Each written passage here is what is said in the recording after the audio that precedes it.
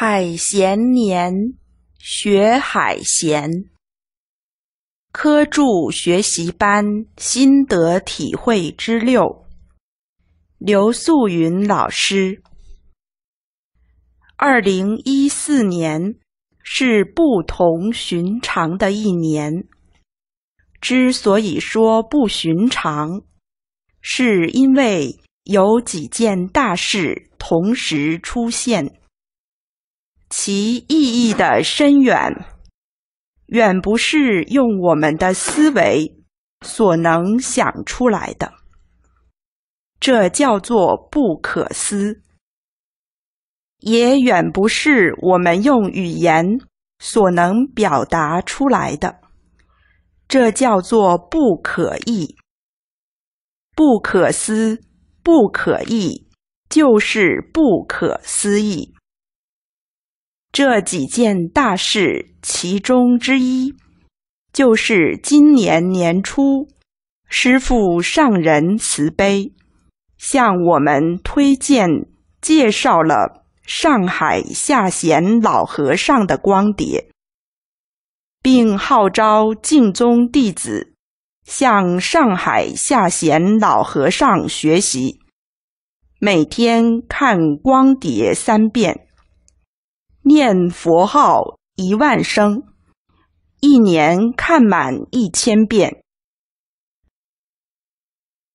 现在这片光碟已在海内外广泛流通，无量众生因此光碟而得度，真是殊胜至极。这是我们佛门一件幸事。一件大事，可以这样说吧。今年是海贤之年，我们要尊师教诲，老老实实向上海下贤老和尚学习。从老和尚身上，我们会悟到一些东西，帮助我们成就道业。在这篇心得体会中，我从以下四个方面和诸位同修们分享：一、看似平凡，实则非凡。今年五月份，我看上海下贤老和尚光碟一百四十六遍，总的感觉。是越看越爱看，越看越亲切，百看不厌。看着老和尚慈祥的面容，觉得老人家就是我未曾见面的祖父，他就是我至亲至爱的亲人。老人家是那样的平凡。他是茫茫人海中的普通一员，普通的不能再普通，平凡的不能再平凡。在茫茫人海当中，你可能不会多看他一眼，说他平凡。他身居乡间小庙，多年没有香火供养。他吃的是苦，凡夫之见；穿的是补，近百年从事农耕，开荒种地一百多亩。他的一生就是两件事：一念佛，二干活。还有比这更平凡的吗？可恰恰在这平凡之中。透出一种非凡，而这种非凡不是一般人所能体悟到的，而更凸显了他的平凡。那么，我们怎样来认识他的非凡呢？我是从三个方面来认识的：一，从老人家的来历看，师父上人。明确告诉我们，上海下贤老和尚是阿弥陀佛派到人间表法的，在光碟里，他也亲口告诉大家，阿弥陀佛让他住在世间表法。从这一点上看，你说他是平凡还是非凡？二，从老人家的言谈举止上看，老人家说：“我什么都知道，什么都不说，什么都知道，就是无所不知。无所不知是什么境界？是大彻大悟的境界。大彻大悟之人是什么？当然是佛了。”什么都不说，是天机不可泄露。从这一点上看，你说他是平凡还是非凡？三，从师父上人对老和尚的评价上看，在我的印象中，师父上人无论是对出家众的评价。还是对在家众的评价，对海贤老和尚、对来佛三圣的评价是最高的了。仅举一例说明：师父上人说，上海下贤老和尚的这片光碟将影响末法九千年。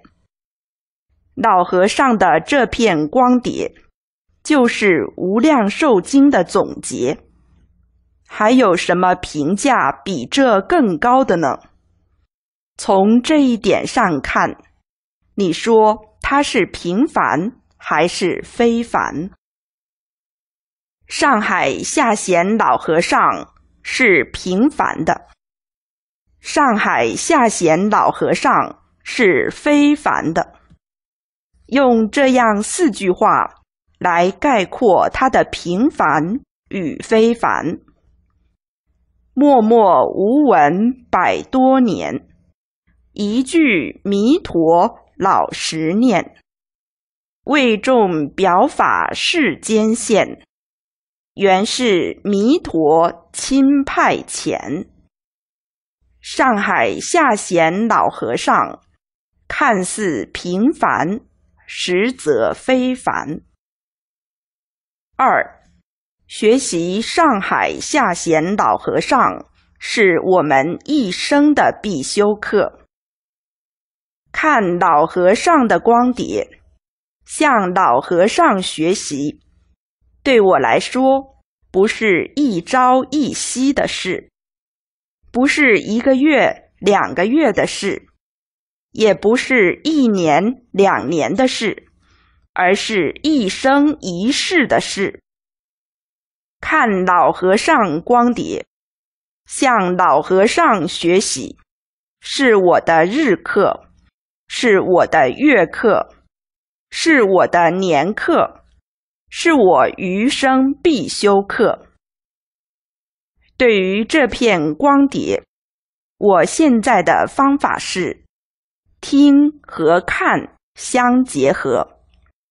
早晨两点起床后，先听一遍，也可先看一遍。三点钟，我在室外绕佛两小时，这时带着随身听，绕佛两小时，又可听两遍，效果非常好。早晨五点钟时，三遍已经听完或看完。白天根据具体情况，能听看多少遍就听看多少遍，不要把听看光碟当成任务，当成负担。时间安排好了，很轻松自在。听看老和尚光碟，贵在持之以恒。不能刮一阵风就过去了。如果一阵风似的学习老和尚，那将一无所获。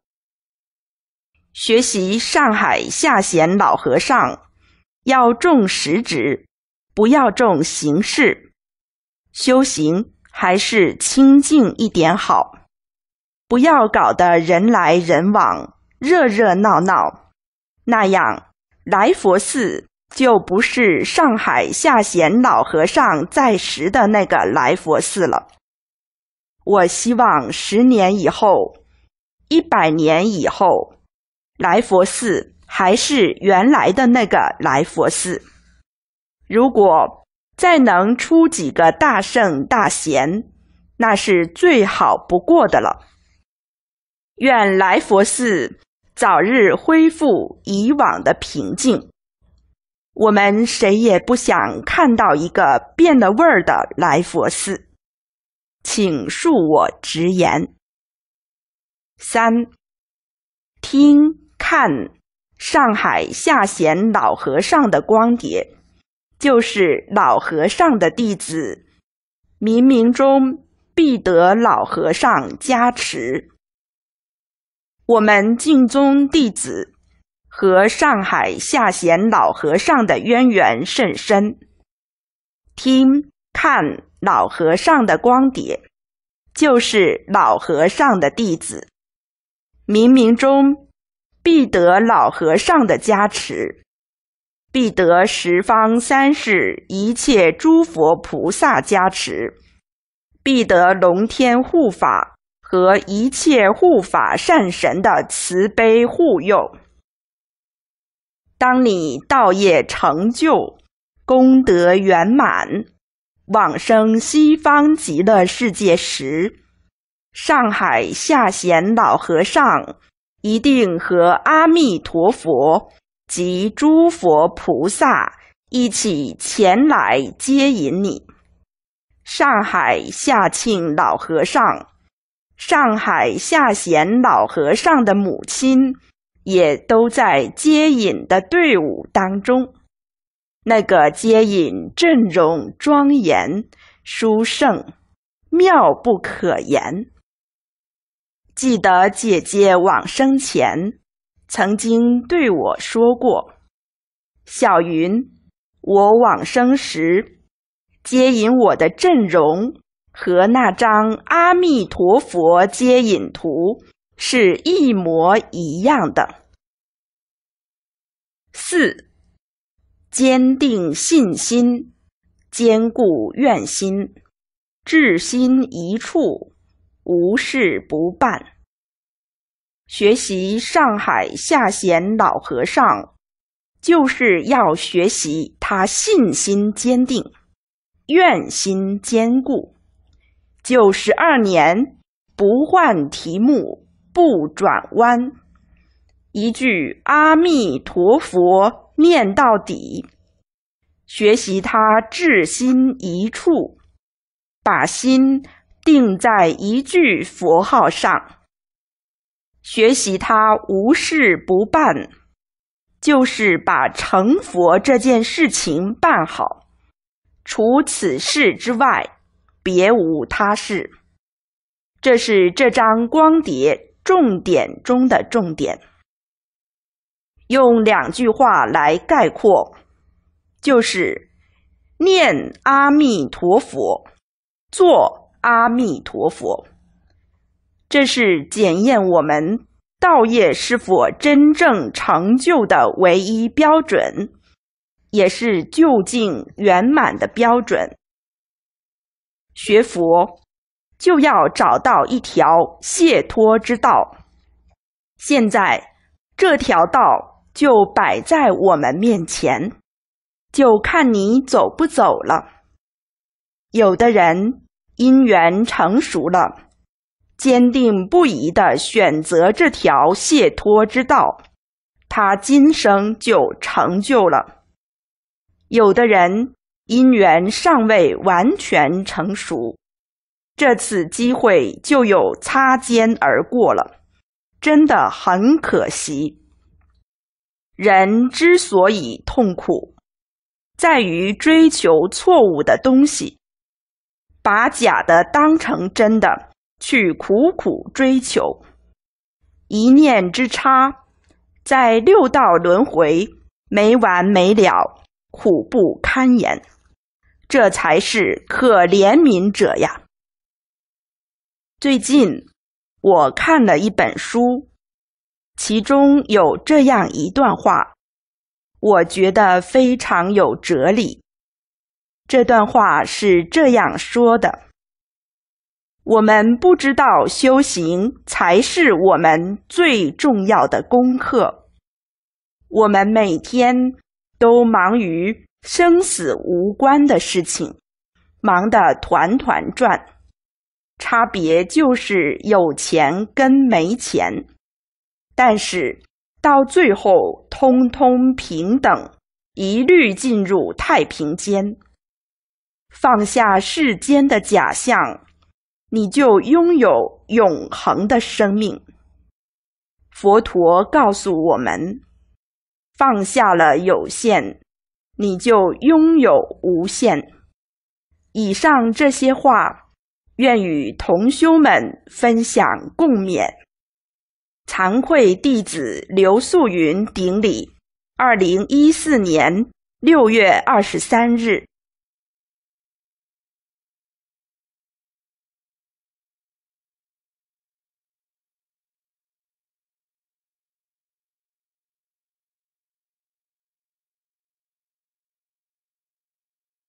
我们听了，也看了刘素云居士的报告，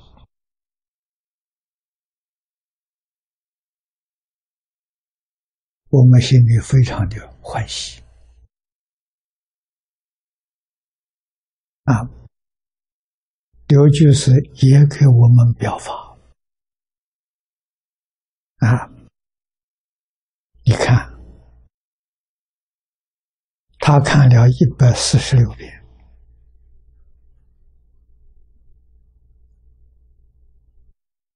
越看越欢喜。我相信有不少人啊，不止他一个，越看越不能放下。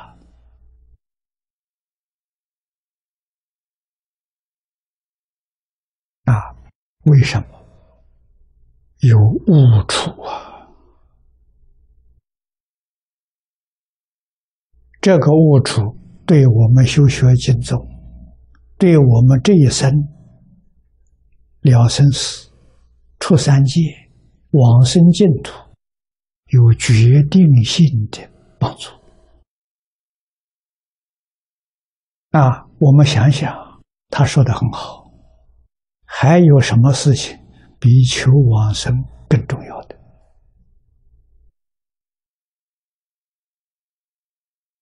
必须要知道，不能往生，就是继续要搞六道轮回。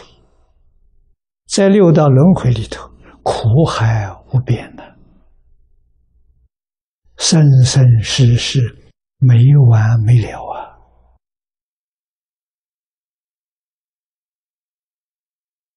啊，业障消不了，消不了就要随业受报。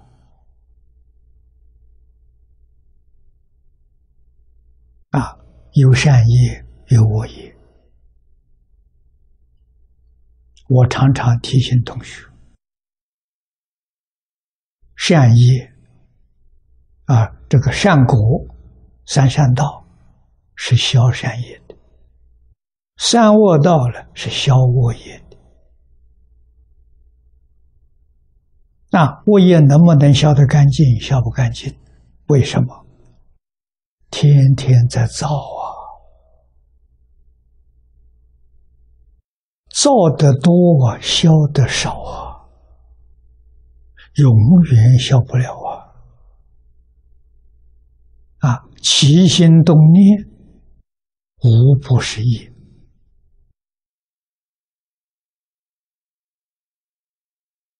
如果你要真正觉察到了，你才知道这多么可怕。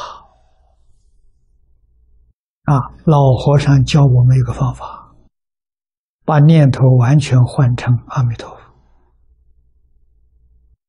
心里面只有阿弥陀佛，除阿弥陀佛之外，一切都放下。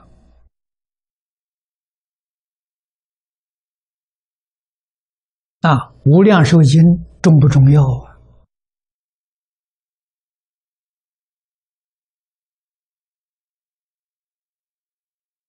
这一段时间，这十几年当中，许许多多人在议论这部经典，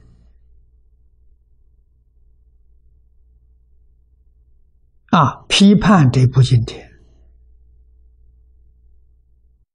在中国佛教史上史无前例，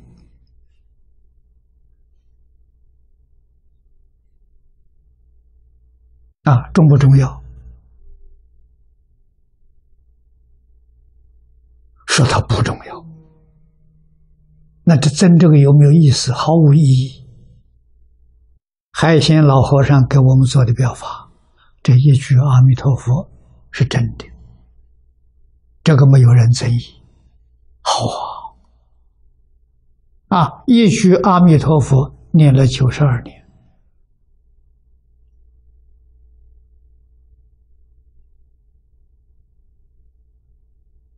啊，光碟上你细看，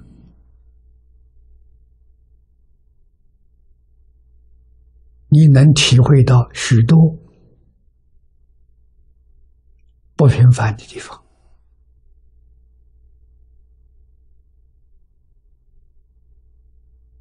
啊，老和尚说：“我什么都知道。”我告诉大家，这一句话不是出家人随便说的。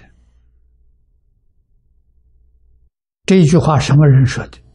大彻大悟、明心见性，才可以说这句话。老和尚能说这句话，那么他念佛的功夫就是理业心不乱。我细心看这个题。他二十岁，这个二十岁出家，师傅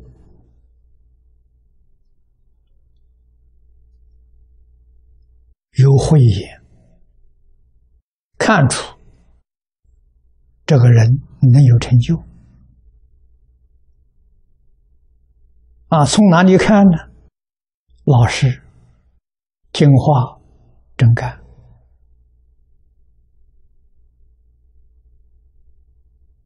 再加上真诚、心地清净、有恭敬心，太难得了啊！这就是具备了一生开悟做佛的。基础，他有了，那就好办了。叫他志心一处，无事不办。世尊，这种方法，要像海贤这样的人，他才传给你。啊，不是这种人呢，传给你没用。这真真是上上根人呐！啊，传给他说，他老实听话，一句佛号念到底，九十二年不拐弯，没丢失，这还得了啊，这样的人念佛三年，像锅炉匠一样。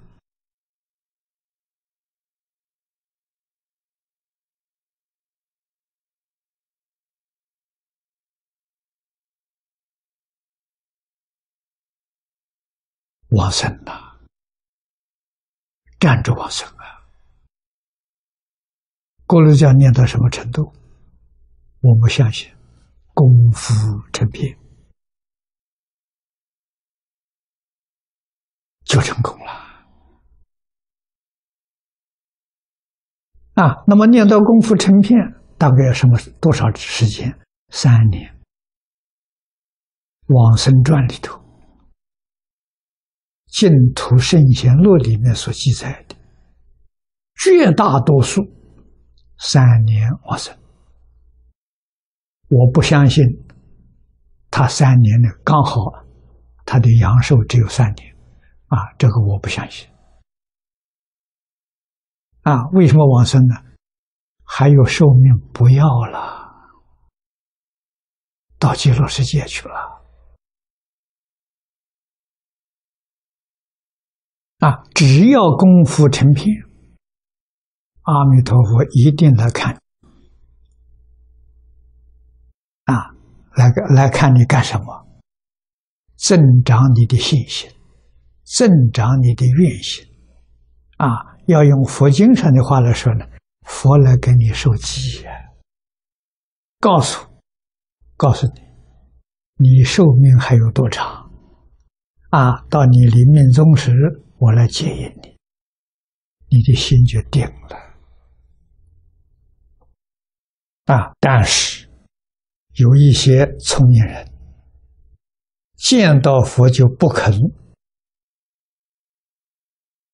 这个机会呀不肯放松啊，就向佛要求：我还有寿命，不要了啊！我要跟你走。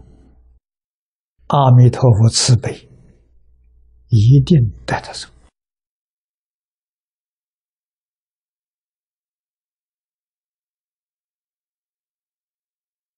啊！所以海贤在三年念到功夫成片，再有个三五年，事一心不乱；再有三五年的理一心不乱。换句话说，他什么都知道。什么都不说，啊，老老实实给念佛人做个好样子，这就是他的任务。这个时候，阿弥陀佛给任务给他，啊，到他表法圆满了，佛就来接引他。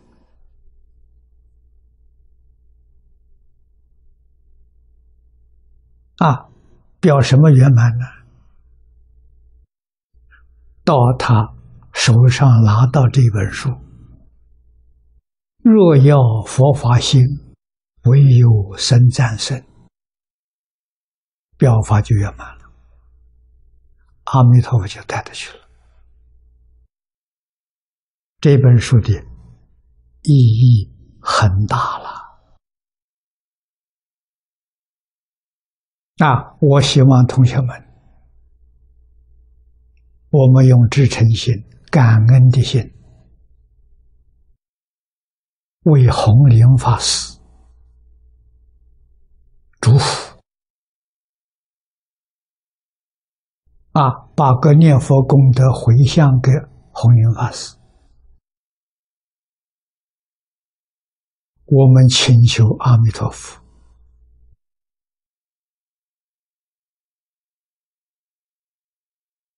让弘灵法师继续在世间为我们表法。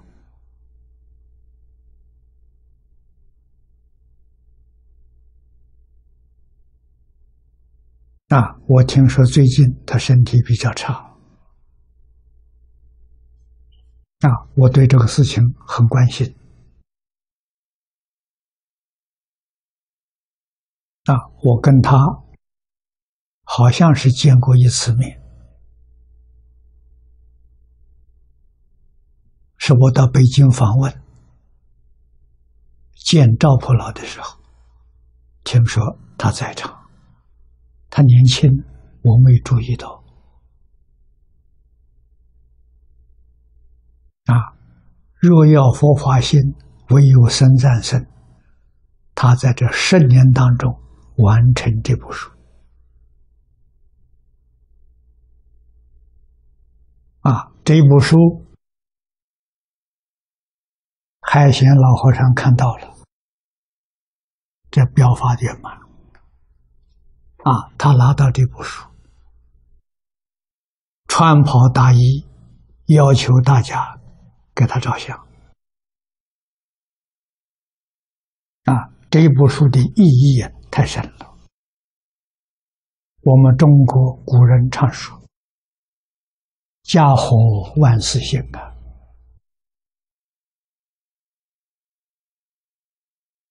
我在前面曾经跟诸位说过，祖师大德们说的“三学兴衰”，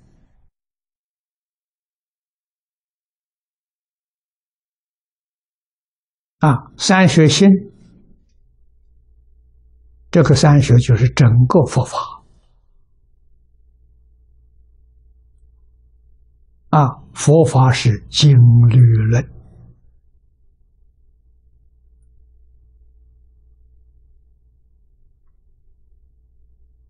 啊，律宗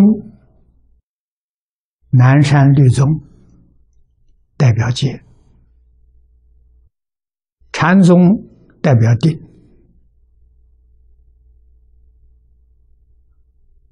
其他的都属于教下。啊这叫三学，三学一缘，佛法就行了。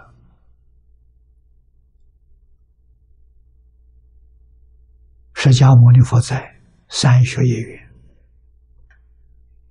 无比的兴旺。佛入灭之后，这就分派了。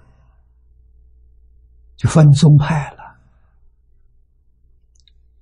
分宗派是衰相的开始啊！虽然分宗还不至于冲突啊，还能互相尊重啊，心里很清楚、很明白，所有的教派。全是释迦牟尼佛传下来的啊！如果要批评、要争论，那是批评释迦牟尼佛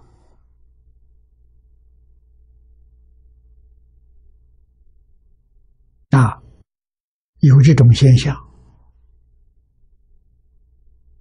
衰了。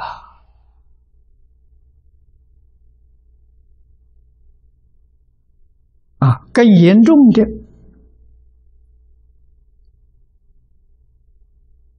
是一个门派里面起哄，争权夺利，啊，这佛法这佛法就灭了，就亡了。不是外面人能灭佛法，佛弟子。不能依教修行，就叫灭法。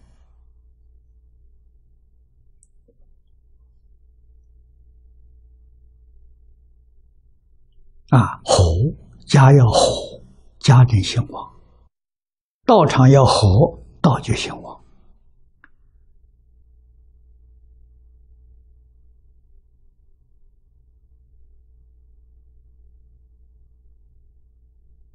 我有一年访问日本，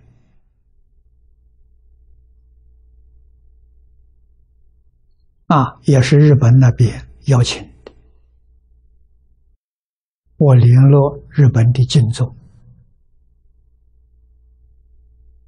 十几个道场，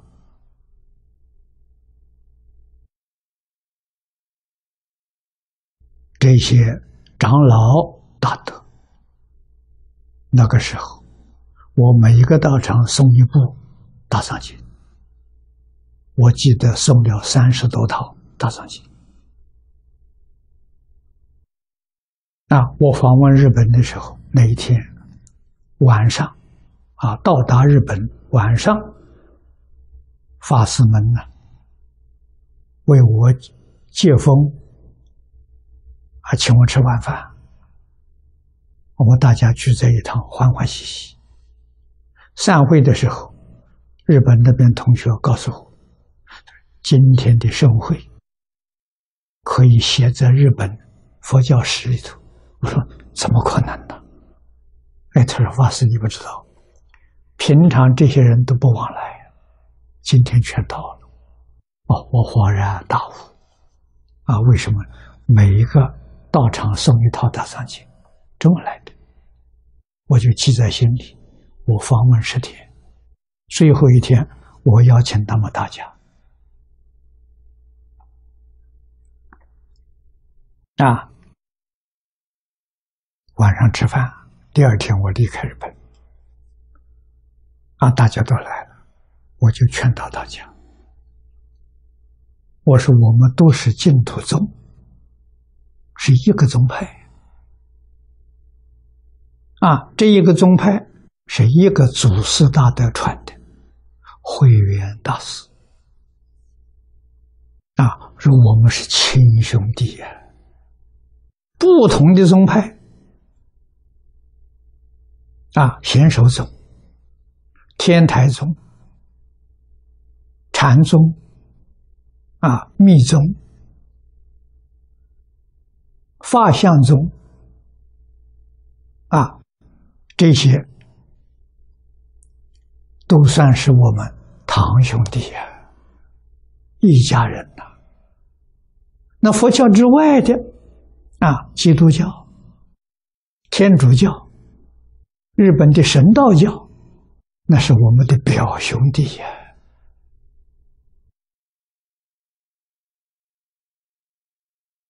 我们不能够不和啊！不和，宗教就衰了，佛教也衰了，净土也衰了，不可以不和。从谁做起？从自己做起。他不跟我和，我要跟他和。他可以批评我，我决定不能批评他。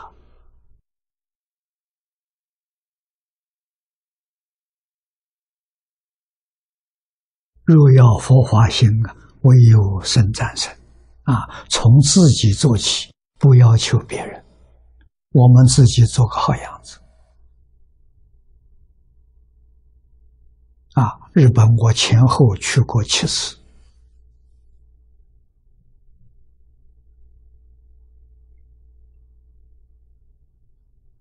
啊，我接受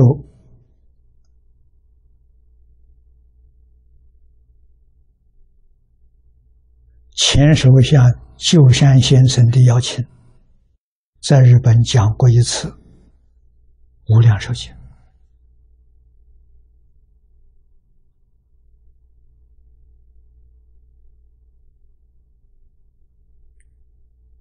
啊，所以要活！社会为什么动乱不和？啊，世界为什么不稳定不和？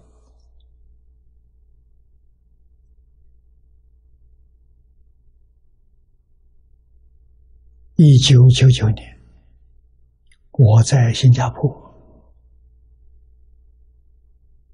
啊，得到。李牧原居士的协助，帮助我联系新加坡的九个宗教，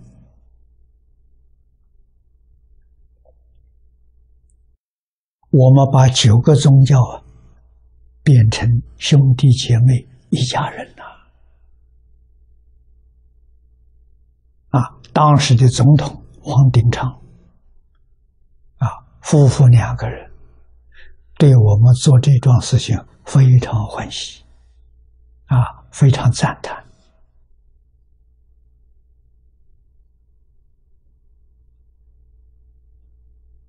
啊，当时新加坡有一位高级部长曾思生先生，有一天到居士林来访问，啊，中午在一起吃饭，他问我。你用什么方法把这些宗教统统团结起来？我说我没有方法了。释迦牟尼佛有方法，他很惊讶。释迦牟尼佛什么方法？是四摄法。那我就用四摄法。那，他问我哪四摄法，我就告诉他：布施、爱语、力行同事。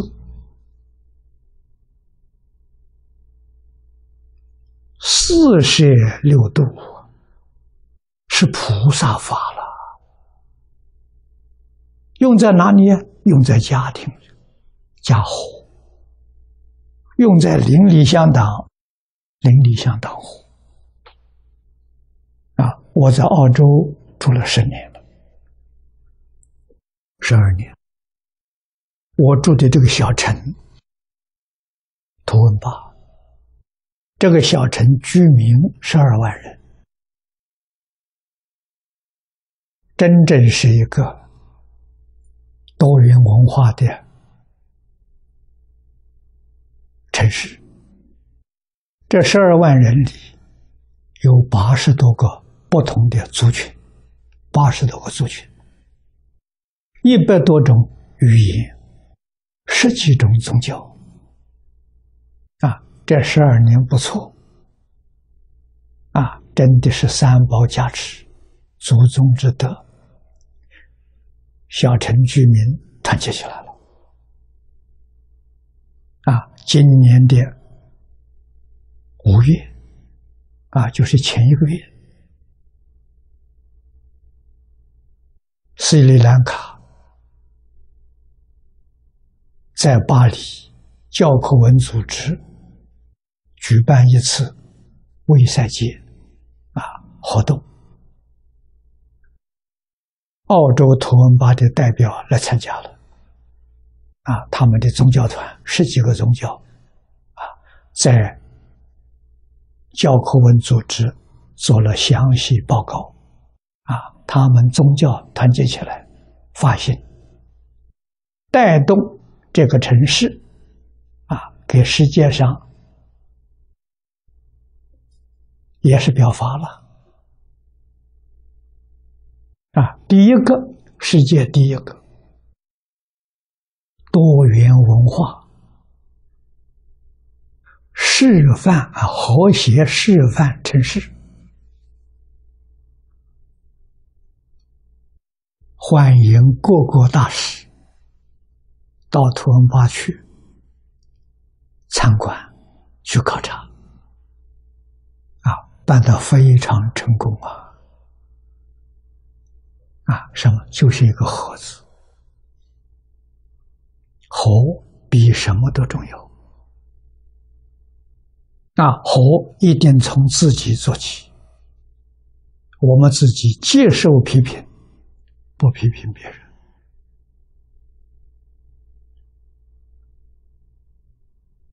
归过全善。要在没有第三者在场，可以。有第三者在场就不可以啊？为什么？第三者看到我们不好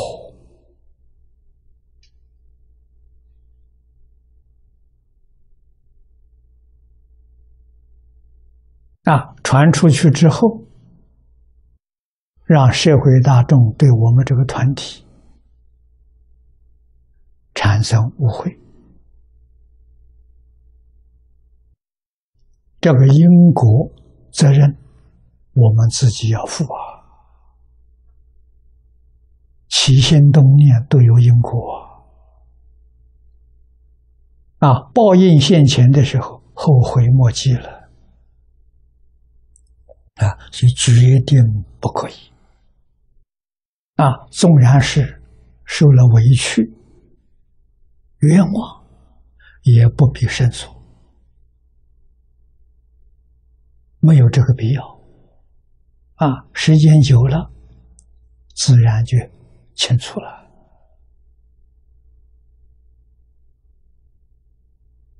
我们起心动念，对得起佛菩萨，对得起天地鬼神，绝不做亏心事，这就对了。啊，海贤确确实实是我们最好的榜样。无量寿经上，无论是理论，是方法，这个方法包括生活、工作、处事、待人接物，方方面面讲得很清楚，海贤全做到了。不能不佩服啊！啊，我带头向他老人家学习，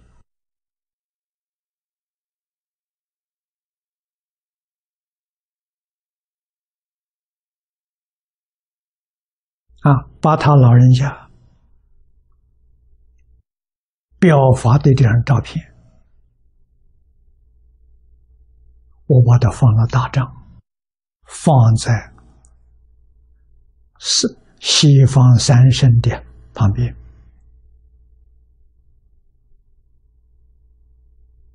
啊，每一天做早晚课，每一天念佛，我都看到他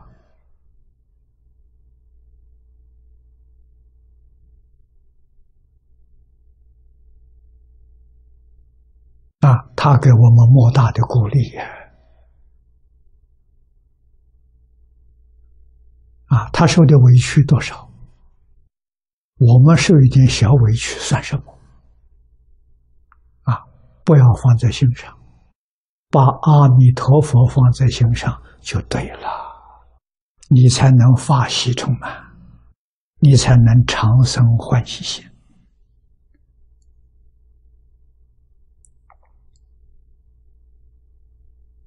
啊，刘素云就是。这一篇学习报告，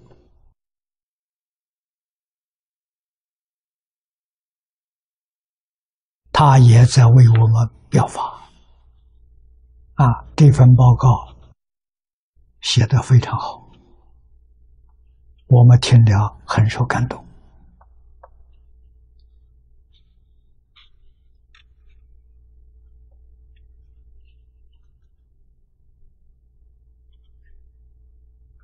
啊，那么将来有学习海贤老和尚